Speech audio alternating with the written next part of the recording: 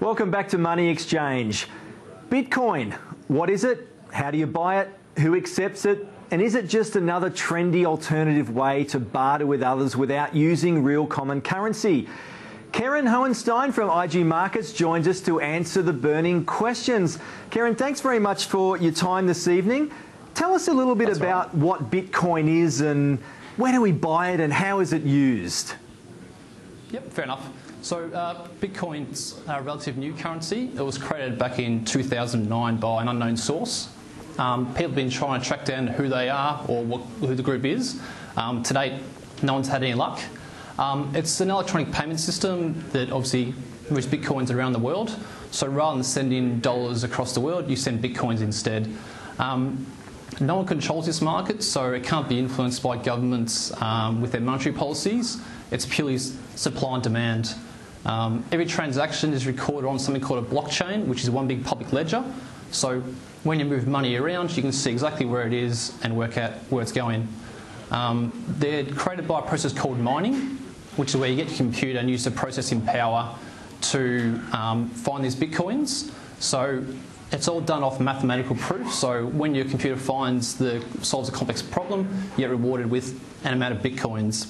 Back in the day, you used to be able to do it with um, a couple of computers at your house. These days, it's quite sophisticated. You get companies that spend millions of dollars and buy these computers around the world um, to mine these bitcoins. Market cap at the moment is around about three and a half billion dollars, so quite a large thing. Um, and probably one of the best things I think about Bitcoin is they trade 24 hours a day, seven days a week. So you're not restricted by the banks as to when you can move your money around in public holidays.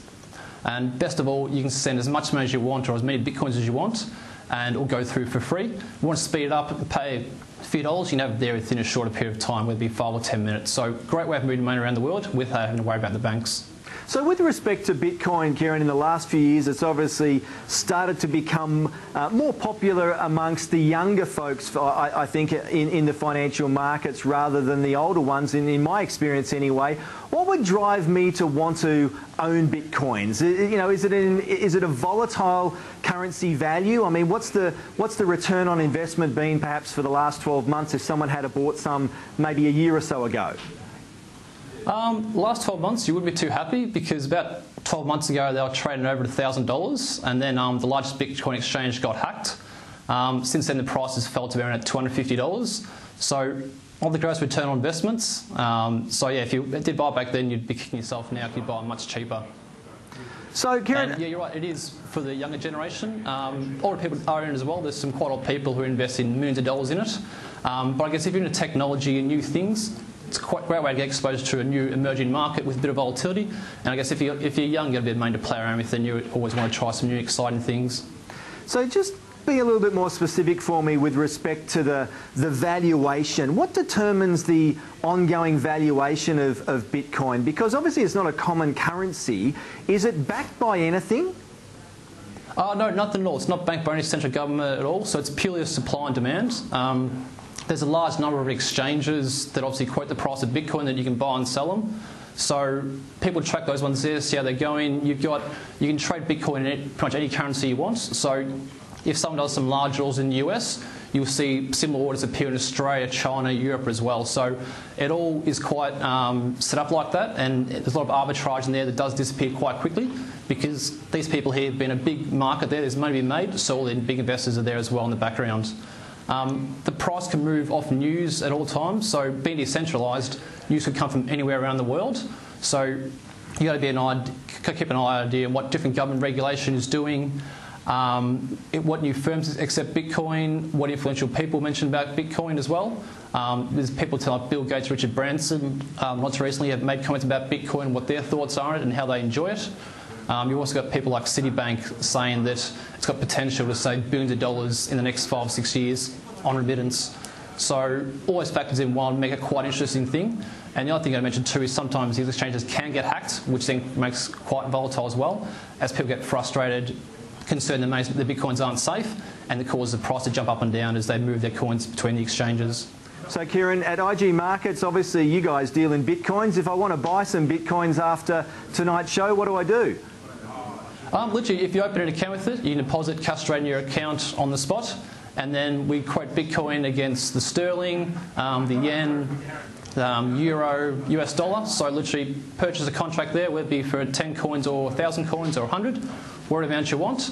Um, best of all, with us, you can actually go short the market. So if you think Bitcoin is going to keep on falling like it has throughout last year, you actually sell it and make profit off the market going down, then buy it back at a later date to close your trade.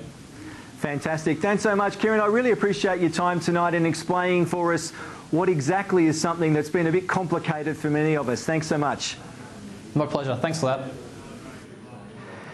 Now it's time for our currency quiz question of the week. And this week, it's doubled in value to $1,000. So, for $1,000 tonight, here's our currency quiz question. There are four countries that use this currency as legal tender. It was given its current name in 1961 and today is a country that is considered an emerging market, economy heavily reliant on commodities. The country has a checkered history due to apartheid, but in 2012, the president told the Reserve Bank to issue a complete set of banknotes bearing the face of Nelson Mandela. I am referring to the South African what?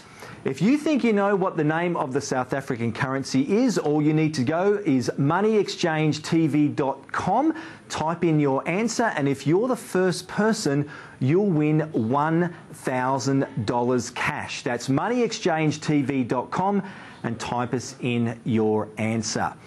Now, before I go tonight, I've got some exciting news about next week's program. Tomorrow, I'm jumping on a plane and heading to London to interview a series of currency traders, economists, and senior banking analysts right at the coalface, the heartbeat of the currency markets. Canary Wharf. So make sure you join me next week here on Money Exchange to find out about what the smart money is doing in London in global currency markets. Well, that's all we have time for tonight. Thanks for your company. I'll see you again next week.